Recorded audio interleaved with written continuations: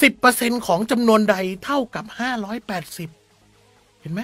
ของจำนวนใดอะคุณครูขีดเส้นใต้ ของจำนวนใดของเลขใดเหมือนกันนะไอเดียเดิมครับทำบ่อยๆน้องจะรู้เองสิบเปอร์เซ็นคือสิบส่วนร้อยของจำนวนใด คือทำบ่อยๆเนี่ย มันไม่ได้เก่งขึ้นหรอกนะฮะแต่ทำบ่อยๆมันจะชิน แล้วน้องจะรู้ว่าบรรทัดต่อไปมันจะเขียนอะไร นะครับ มันไม่ได้แบบว่าอุ้ยทำได้เก่งขึ้นอะไรงั้นหรอกแต่มันจะรู้ว่าเฮ้ยบรรทัดต่อไปเนี่ย พอสิบส่วนร้อยเนี่ยเฮ้ยต้องรู้แล้วร้อยมันขึ้นไปคูณสิบมันลงปัญหาร คือใครทำบ่อยๆจะโผล่บรรทัดนี้ได้เลยครับห้าร้อยแปดสิบคูณร้อย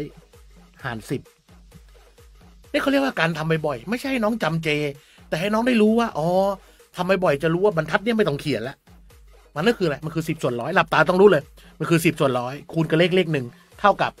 ห้าแปดศูนย์นะอยากได้เลขเลขนั้น เราก็เอาจากที่เราเห็นนะไปหารขึ้นไปคูณแค่นั้นเองนะครับนะมันจะชินแบบนี้แหละนะครับ จะตัดเลขเลยนะ ต่อไปห้าร้อยแปดสิบคูณสิบก็จะได้เป็นห้าพันแปดคือพวกเราชอบเกลียดเรื่องนี้แต่อาจารย์จะบอกว่า ถ้าน้องไม่ใช่เอกคณิตศาสตร์นะ น้องไม่ต้องเข้าใจแบบลึกซึ้งอะอาจารย์พูดตลกแล้วคือน้องไม่ต้องเข้าใจแบบลึกซึ้ง น้องจำเป็นแนวโจทย์เลย แนวโจทย์สไตล์แบบนี้มันต้องเป็นลักษณะแบบนี้ แล้วจำเป็นแนวโจทย์แล้วทำมันบ่อยๆ ฝึกทำมันบ่อยๆ อาจจะอาจจะเขียนใส่กระดาษอันนึงนะฮะแล้วฝึกทำลงในกระดาษของเราเองนะครับ อย่างวันนี้น้องเขียนแล้วมันเละแล้วไงมันเละแล้วน้องก็ไปลอกตัวนี้ใส่กระดาษนะไม่เห็นแปลกเลย ลอกโจทย์ใส่กระดาษ แล้วก็ฝึกทำฝึกทำไปเรื่อยๆนะครับนะ เดี๋ยวอาจารย์ครับจะมีเทคนิคเพิ่มให้เรื่องการเอาโจทย์ไปทำนะครับนะ เดี๋ยวค่อยว่ากัน เดี๋ยวจะสั่งให้เป็นการบ้านนะครับ แต่เดี๋ยวเอาตรงนี้ก่อนนะ เดี๋ยวตรงนี้ก่อนบางคนบอกอะไรนะ การบ้าน การบ้านนะครับครูครับ ส่งด้วยนะครับ คุณครูครับ เราเช็คชื่อนะฮะนะทุกคนคือ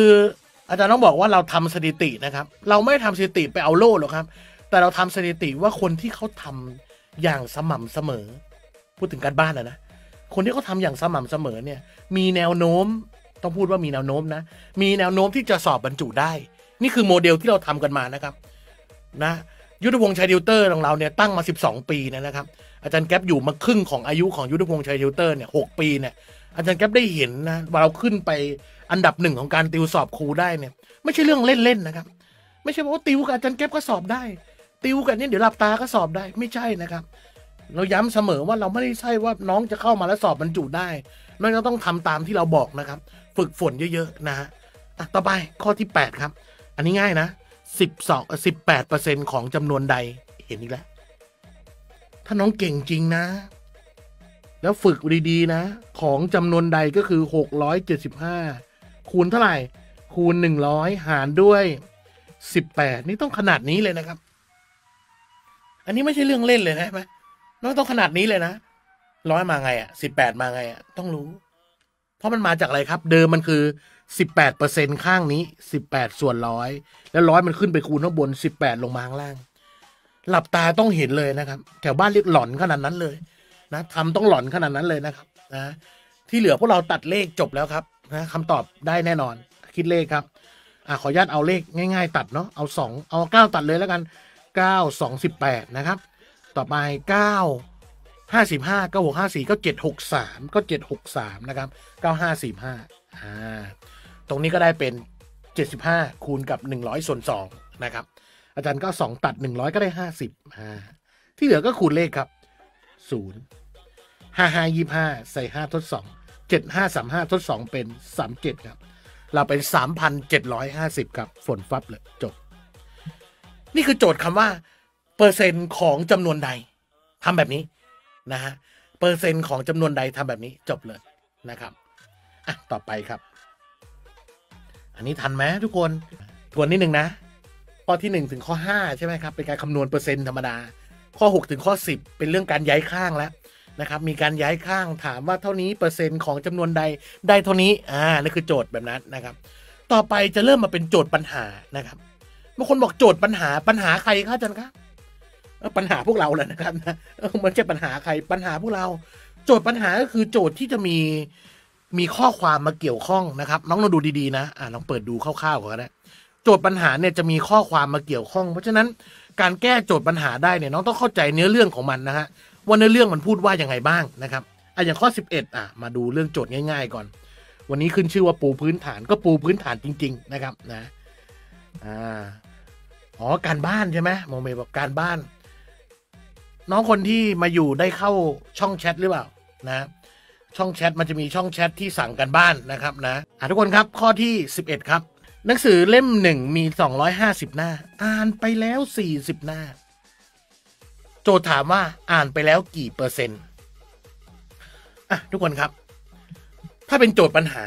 ถามเรื่องเปอร์เซ็นต์อะจำไว้เลยนะครับ เทคนิคเลยนะ อันนี้ง่ายมาก ถ้าโจทย์ถามว่ากี่เปอร์เซ็นต์ ไม่ว่าเรื่องอะไรก็ตามจำไว้นะ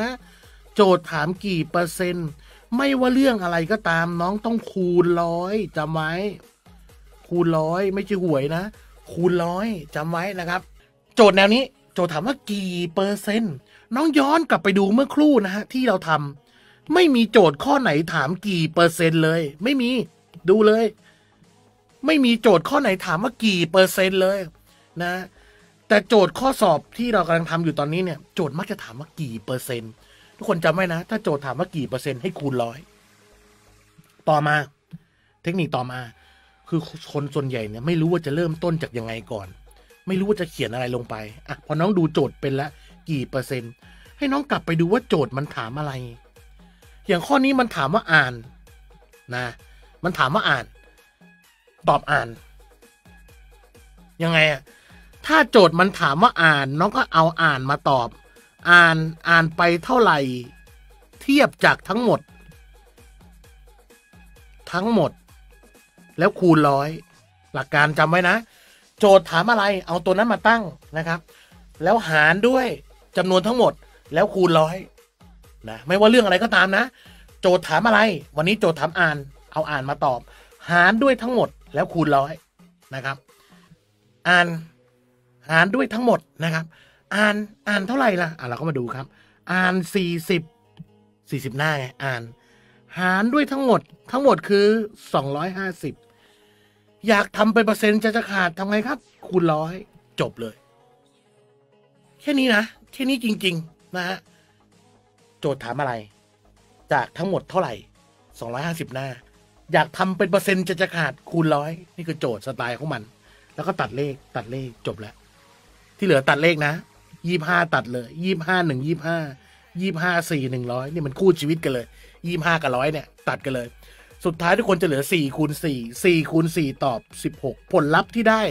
จะเป็นเปอร์เซ็นต์เสมอคำตอบข้อนี้คือสิบหกอะสิบหกมีสองช้อยอีกอะข้อไหนก็ได้อะตอบไปเลยครับสิบหกนะอาจจะมีการก๊อปช้อยมาแล้วไม่ได้เปลี่ยนนะเนี่ยฮะนี่คือการคำนวณนะครับ เอาใหม่ ฟังให้ดี เอาใหม่ ถ้าโจทย์เปลี่ยนว่า หนังสือเล่มหนึ่งมี 250 หน้า อ่านไปแล้ว 40 หน้า โจทย์ถามว่ายังไม่ได้อ่านกี่เปอร์เซ็นต์ฟังให้ดีนะ โจทย์ถามว่ายังไม่ได้อ่านกี่เปอร์เซ็นต์ทำไง โจทย์ถามยังไม่ได้อ่าน ไม่ได้อ่าน กี่เปอร์เซ็นต์ทำไง แล้วก็ดูโจทย์ เปอร์เซ็นต์โจทย์ถามคูณร้อยโจทย์ถามอะไร ยังไม่ได้อ่าน อ่านไปแล้วสี่สิบยังไม่ได้อ่านเท่าไหร่ครับ อ่า ยังไม่ได้อ่านเท่าไหร่ครับ ยังไม่ได้อ่านสองร้อยสิบจากเท่าไหร่สองร้อยสิบจากเท่าไหร่ จากสองร้อยห้าสิบแล้วก็ใส่ไป จากสองร้อยห้าสิบแล้วคูณร้อยจบ โจทย์ถามอะไรตอบตัวนั้นครับ อ่า เข้ารอบแรกแต่ยังไม่มีกลุ่มการบ้านโอ้ยังไม่ได้แจ้งชื่อสิเขาจะมีโพสต์แจ้งชื่อนะ อ่าน้องนัตตานะครับนะก็ต้องไปแจ้งชื่อไว้นะครับอ่าเขาจะมีโพสต์อยู่นะครับ ไปดูนะ มีโพสต์ที่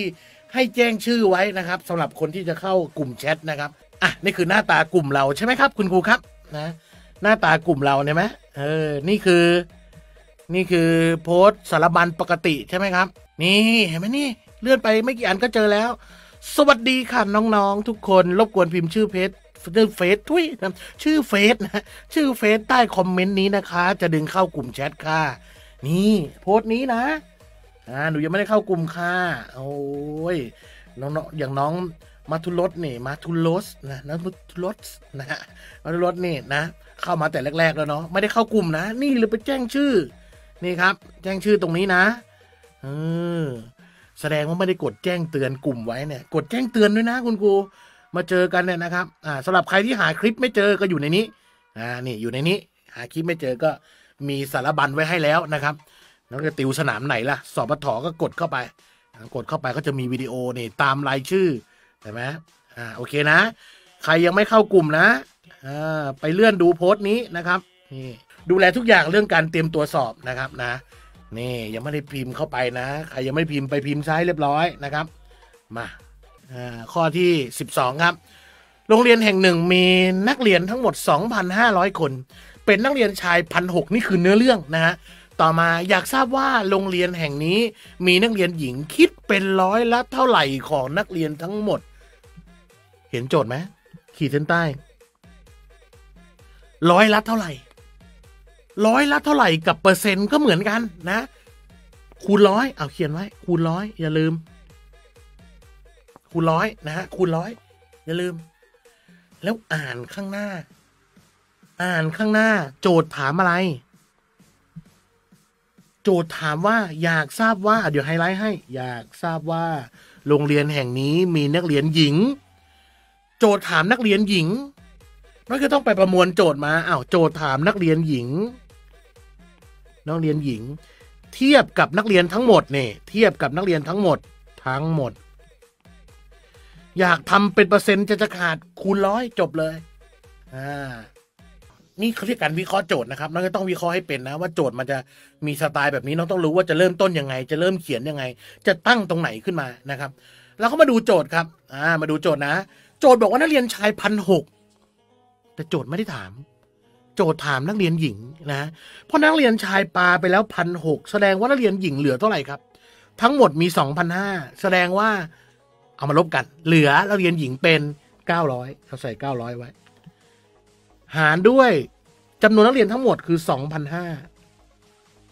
อยากทำเป็นเปอร์เซ็นต์จะจะขาดคือคูณร้อยจบจบไหมจบไหมนี่คือโจทย์ถามว่าร้อยละเท่าไหร่ เพราะนั้นถ้าเรากลับไปสังเกตนะ โจทย์จะไม่มีคำถามว่าเปอร์เซ็นต์เลย มีแค่ข้อ 11หรือข้อ 12 เนี่ย ที่ถามว่าร้อยละเท่าไหร่เปอร์เซ็นต์เท่าไหร่ให้น้องคูณร้อยนะครับ พอคูณร้อยก็จบเลยนะแล้วก็ตั้งให้เป็นนะครับ ต่อไป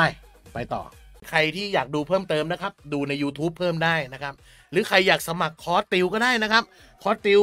ที่เป็นคอร์สคณิตศาสตร์อย่างเดียวก็มีนะครับเป็นเอกสารโหลดฟรีตลอดชีพ 390 บาทนะครับ อันนี้เป็นในกลุ่มออนไลน์นะครับ หรือถ้าใครอยากติวทุกวิชาเลยจะสอบอปทสอบสปทสอบกศนสอบกพมีติวทุกวิชาเลยวิทยากรตามนี้เลยครับ อัดแน่นอย่างนี้เลยนะครับเนาะนี่คือคอร์สติวออนไลน์ที่มีนะครับสำหรับวันนี้